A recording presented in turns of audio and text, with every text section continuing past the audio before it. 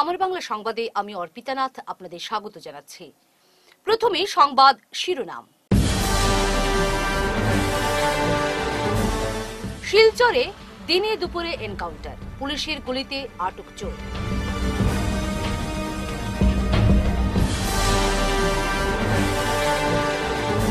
বাঙালির কান্না শুনতে পান না মুখ্যমন্ত্রী হিমন্ত, তোপ কমলাক্ষে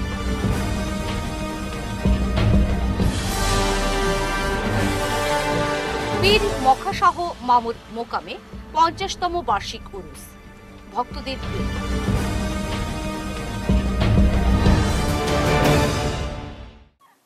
এবারে বিস্তারিত আমার বাংলা সংবাদ।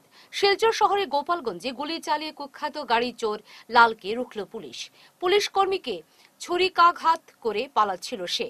প্রাপ্ত খবর অনুযায়ী রবিবার সকালে পুলিশ কর্মীর most wanted car lifter Afzal Hossain ওরফে লাল এর মুখোমুখি হন।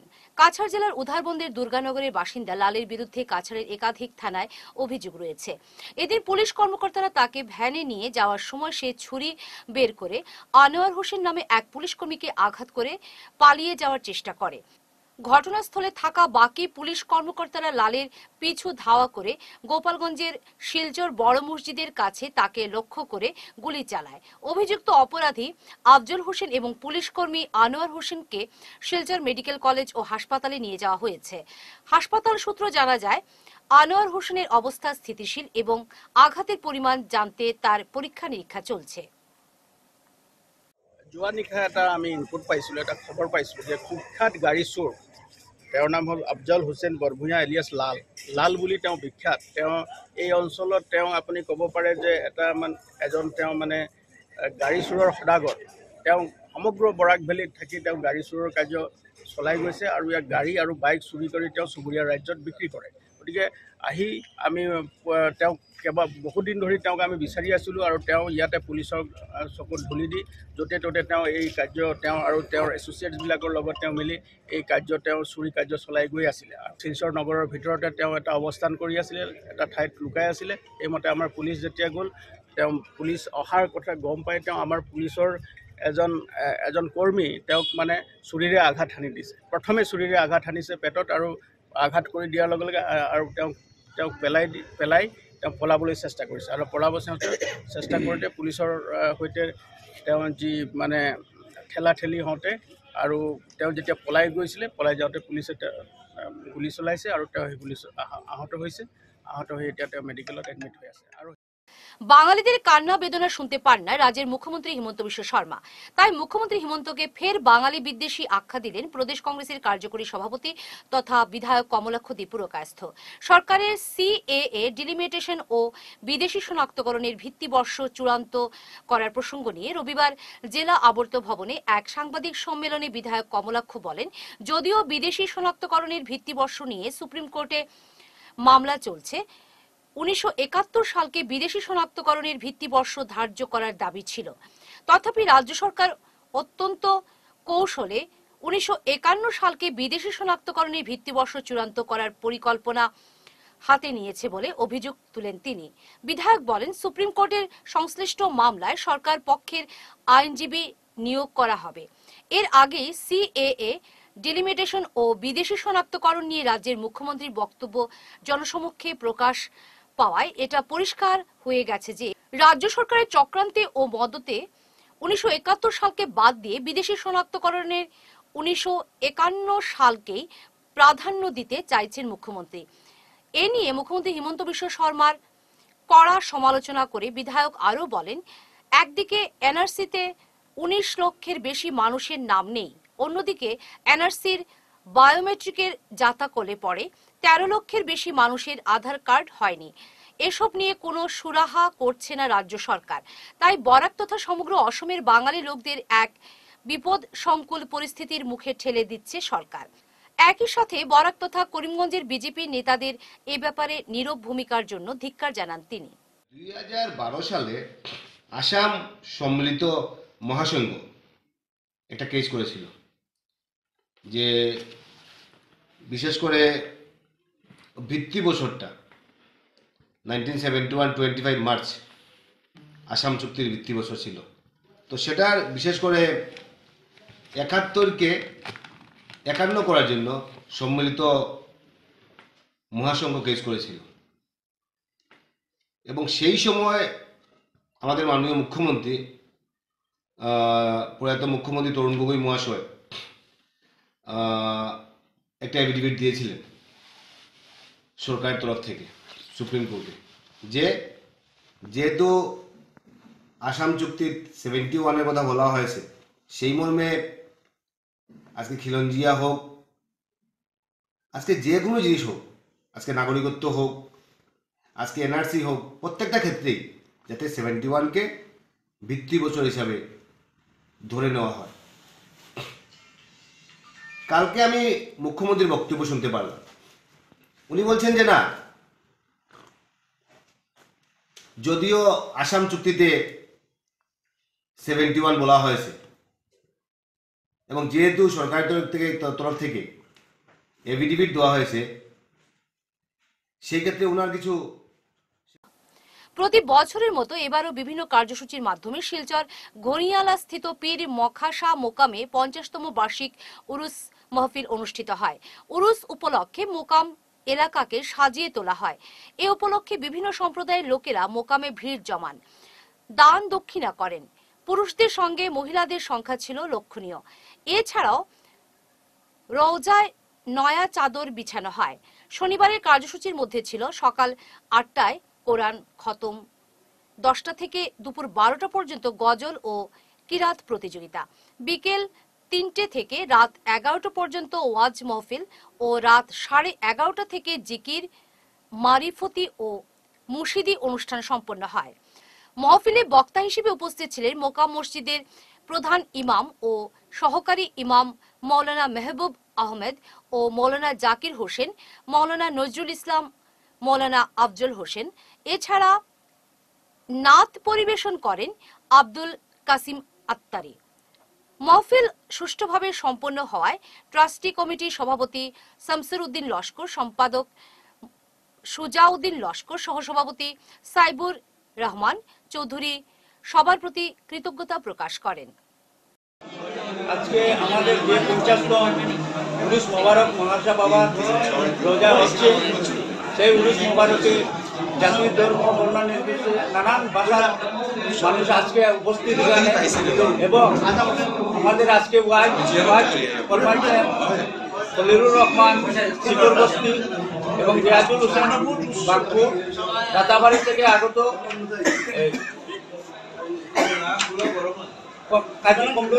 নজরুল ইসলাম এবং দুধপাতিল থেকে আগত নিপুল আহমেদ এবং তারাপুর থেকে মৌলানা আফজল হোসেন এবং মৌলানা শাইনুর আজমল হোসেন এবং আমাদের মুকামের মুখাশা মুকামের হেড মৌলানা মেহবুব আহমদ মহাশয় ওনারা আজকে ওয়াজ ওয়াজ মেহফিল ফরমাইছেন এবং আজকে যে আমাদের যে ভিড় হচ্ছে, নানান ভাষার মানুষ, নানান জাতি, সবাই আজকে যে উপস্থিত, আমরা সেই মোবারকে আমরা এই কমিটির পক্ষ থেকে টাস্ক কমিটির পক্ষ থেকে খুব আনন্দিত এবং সবার জন্য আজকে আমরা দোয়া এবং প্রার্থনা করব। উত্তর করিমগঞ্জ থেকে রাজনৈতিক যাত্রা শুরু হয়েছে। তাই উত্তর করিমগঞ্জের জনগণের ভালোবাসা ও সহযোগিতাকে আজীবন শ্রদ্ধা করে যাবেন তিনি। কিন্তু লোকসভা নির্বাচনে শিলচর থেকে প্রতিদ্বন্দ্বিতা করার কোনো ইচ্ছে নেই তার। শনিবার এক সাক্ষাৎকারে বিধায়ক কমলাক্ষ দীপরকায়স্থ এভাবেই নিজের মতামত ব্যক্ত করলেন। তিনি বলেন, কংগ্রেস এক বিশাল সর্বভারতীয় দল। এখানে হাইকমান্ডের নির্দেশ ও পরামর্শ সবসময় সমাদৃত। তবে শিলচর আসন থেকে সংসদীয় নির্বাচনে প্রতিদ্বন্দ্বিতা করতে চান না তিনি। কমলাক্ষ বলেন, উত্তর করিমগঞ্জের জনগণের ভালোবাসা, সহযোগিতা ও শ্রদ্ধাকে তিনি সবসময় সম্মান করেন। এখানকার জনগণের ভালোবাসায় তিনি বারবার বিধায়ক নির্বাচিত হয়েছেন। তাই তিনি উত্তর করিমগঞ্জের জনগণের পাশে থাকবেন বলেও মন্তব্য করেন। উত্তর কবিঞ্জের মানুষ। দেখুন সবচেয়ে বড় ব্যাপার হচ্ছে গিয়ে হাইকমান্ড বেসড পার্টি আমাদের ভারতীয় জাতীয় কংগ্রেস। এবং সেই কর্ম সেই মর্মে ন্যাশনাল পার্টি হিসাবে আমি মনে করি যে এক বছরের আগে এক বছরের এক বছরের আগ থেকেই অর্থাৎ ইলেকশনের এক বছর আগ থেকেই তৎপরতা শুরু হয়।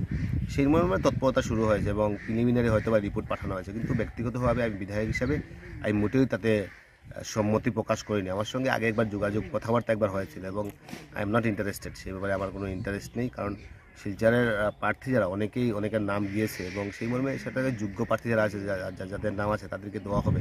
আমি সেটাতে ইন্টারেস্টেড নয় এবং আমি মনে করি যে আজকের দিনে বিশেষ করে উত্তর করিমগঞ্জবাসীর মানুষের যে ভালোবাসা, যে আশীর্বাদ, সেইগুলো নিয়ে সামনের দিনে যাতে একটা সুষ্ঠু সুন্দর সমাজ হয় এবং সত্যি কথা বলতে গেলে যে যাতে একটা উত্তর করিমগঞ্জ যেহেতু একটা রাজনীতির এটা আমার এটা আমার রাজনৈতিক জীবনের প্রথম স্থান এবং উত্তর করিমগঞ্জ থেকে আমার রাজনৈতিক জীবন শুরু এবং সেই মর্মে এই জায়গাটাকে যাতে আরও সুন্দর এবং সুষ্ঠু এবং যাতে সবাইকে নিয়ে যাতে সুন্দর একটা পরিবেশ সৃষ্টি করা যায়, সেটাই মুখ্য উদ্দেশ্য এবং বিধায়ক হিসাবে শিলচার বলুন বা করিমগঞ্জ বলুন বা একজন ওয়ার্কিং প্রেসিডেন্ট হিসাবে সহযোগিতা করা, সাহায্য করা দিস মাই রেসপন্সিবিলিটি ইলেকশনের সময়।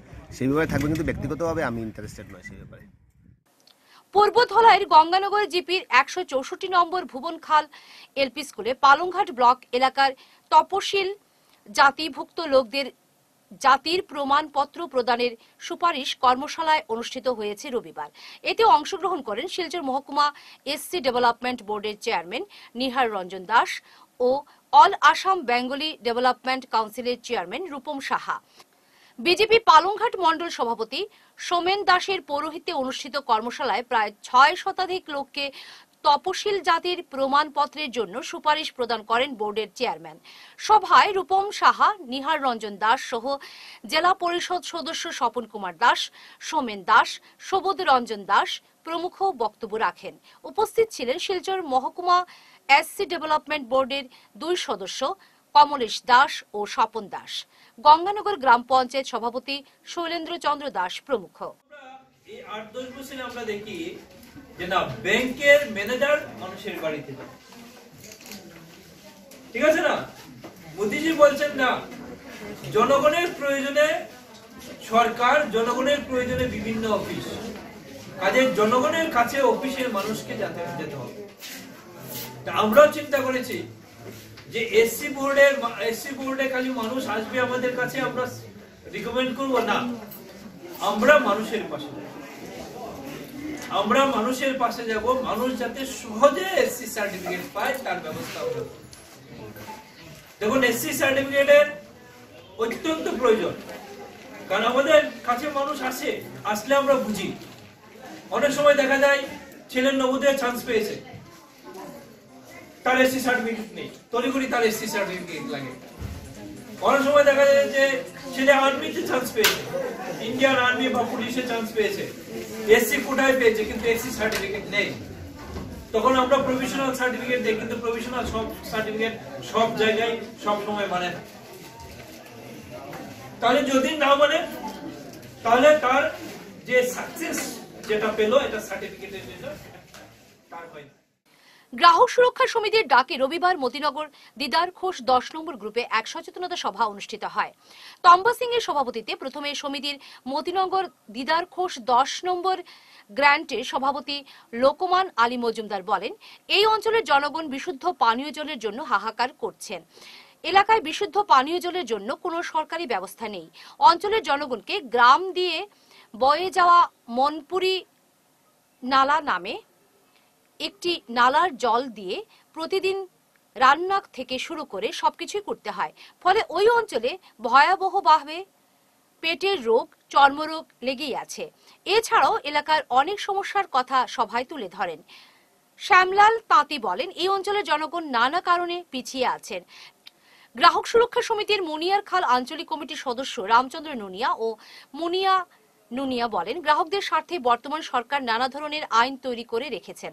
যদি সমাজের পিছিয়ে পড়া জনসাধারণ এই সব আইন কানুন জানার চেষ্টা করেন, তবে তারা নিজেরাই উপকৃত হবেন। এ ব্যাপারে অঞ্চলগুলোর শিক্ষিত সমাজকে এগিয়ে আসার জন্য তারা আবেদন জানান।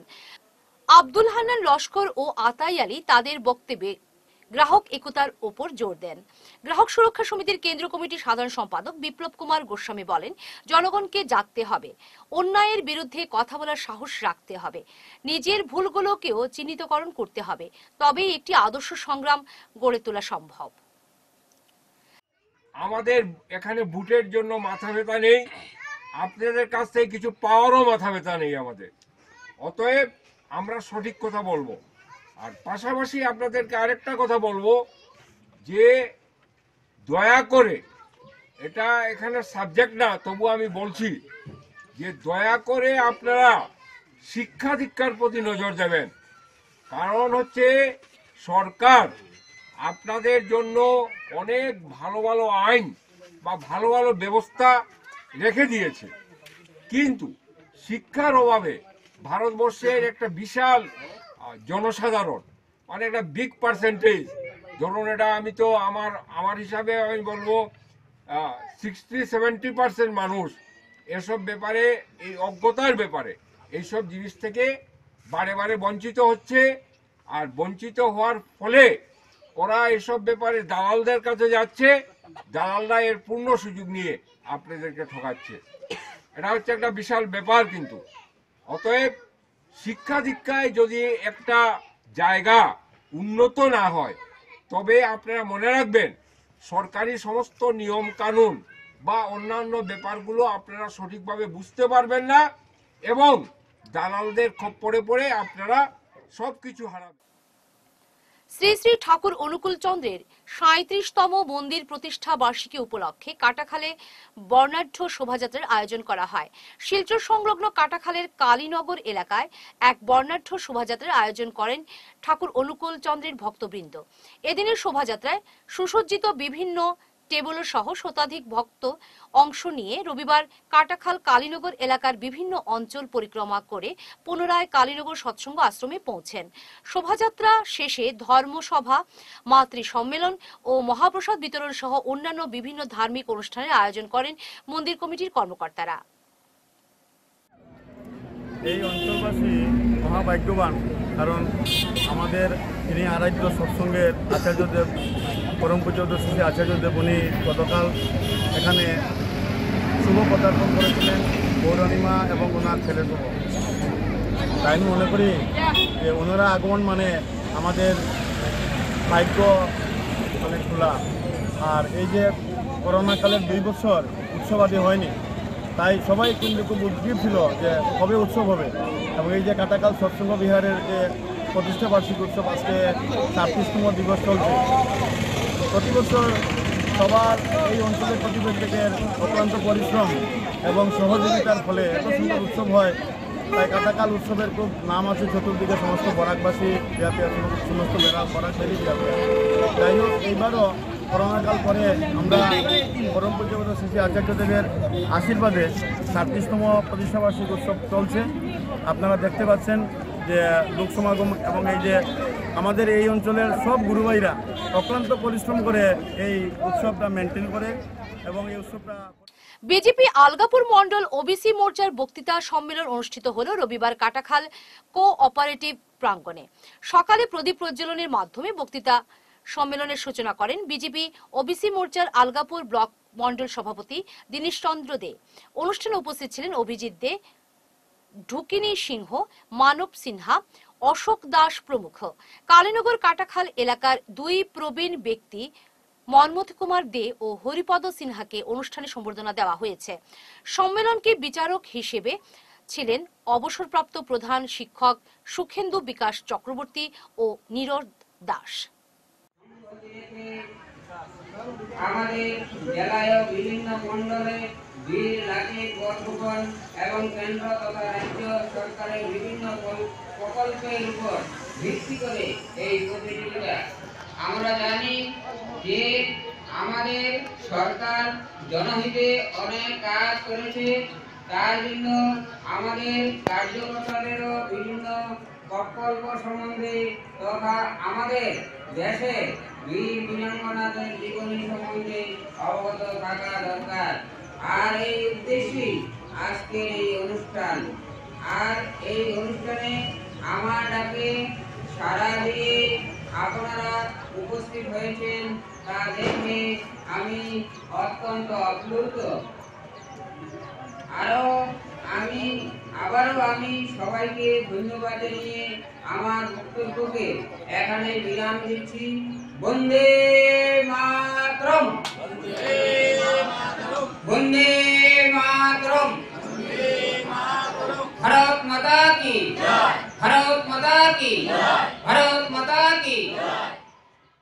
হাইলাকান্দি রবীন্দ্র মেলা প্রাঙ্গণে রেডক্রস সোসাইটির শাখা কার্যালয়ের উদ্বোধন হয়েছে। অনুষ্ঠানে আনুষ্ঠানিক সূচনা করেন রেডক্রস সোসাইটির হাইলাকান্দি জেলা শাখার চেয়ারম্যান ক্ষিতিশ রঞ্জন পাল। উপস্থিত ছিলেন সম্পাদক হিরালাল দত্ত পুরকায়স্থ। রবীন্দ্র মেলা কমিটির জেলা সম্পাদক পিনাকি ভট্টাচার্য রেডক্রস সোসাইটির স্বাস্থ্য পরিষেবা বিভাগের প্রধান মৃগেন দেব বাপ্পা নাগরিক অধিকার সুরক্ষা কমিটির জেলা সম্পাদক রঞ্জিত ঘোষ, কংগ্রেস নেতা শুভঙ্কর ভট্টাচার্য প্রমুখ। তারা সবাই রেডক্রস সোসাইটির বিভিন্ন কর্মসূচি তুলে ধরে বক্তব্য রাখেন। যে প্রাকৃতিক দুর্যোগের সময় আমরা কি করেছি? কোভিডের সময় যখন আক্রমণ চলছিল, তখন আমরা কি করেছি? সেসব এই সব এখানে নিউজের পেপারে তখন যে বেরিয়েছিল, তারপরে যে ছবি আছে, সেই ছবিগুলো আমরা এখানে একটা ডিসপ্লে করে দিয়েছি। যে আপনারা জানতে পারবেন যে আমরা শুধু বসে নেই, প্রাকৃতিক দুর্যোগের সময় আমাদের রেসপন্সের কাজ, আমরা কাজ করে যাচ্ছি। আর এই যে মেলার সময়, আমরা একটা ছোট্ট একটা প্রয়াস নিয়েছি, যারা এখানে আসবে দেখুন, আজকে খুব বেশি প্রয়োজন ব্লাডের নিজের ব্লাডের গ্রুপটা জানা। যে আমার কত, কি গ্রুপ আমার প্রয়োজন? আমি কি গ্রুপ দিতে পারব? রক্ত কীভাবে দিতে পারব? সেটা জানার খুব দরকার।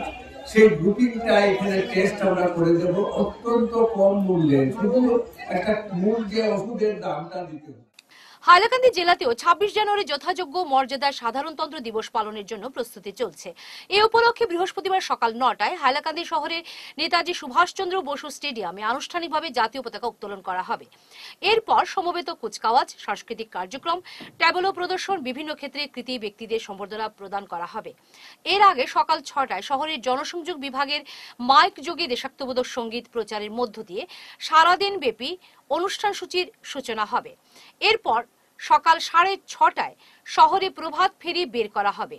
অন্যান্য কার্যসূচির মধ্যে থাকছে সকাল সাতটায় বেসরকারি গৃহে, সাড়ে সাতটায় সরকারি কার্যালয় ও শিক্ষা প্রতিষ্ঠানে যথাযোগ্য মর্যাদায় জাতীয় পতাকা উত্তোলন, সকাল এগারোটায় হাইলাকান্দি জেলের কয়েদিদের মধ্যে মিষ্টি ও ফলমূল বিতরণ, সকাল এগারোটা কুড়ি মিনিটে এসকে রায় সিভিল হাসপাতালের রোগীদের মধ্যে ফলমূল বিতরণ, সকাল এগারোটা পঁয়তাল্লিশ মিনিটে শহরের রবীন্দ্র ভবনে দেশাত্মবোধক চলচ্চিত্র প্রদর্শনী ও সন্ধ্যায়।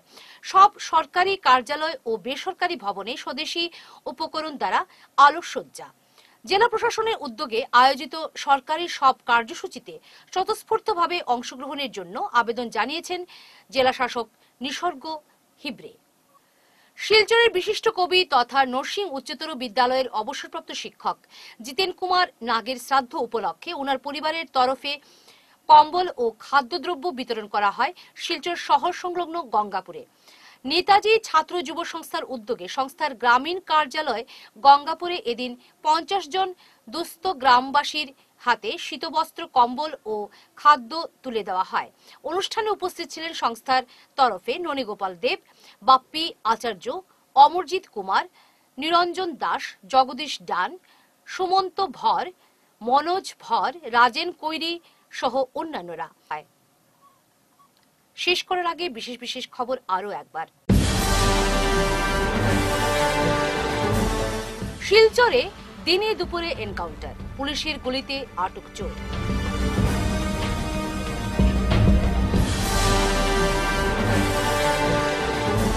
বাঙালির কান্না শুনতে পান না মুখ্যমন্ত্রী হিমন্ত, তোপ কমলাক্ষে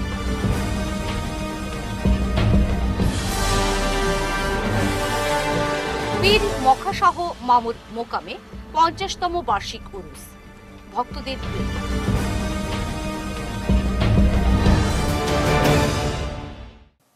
এখনকার মতো আমার বাংলা সংবাদ এ পর্যন্তই। নমস্কার।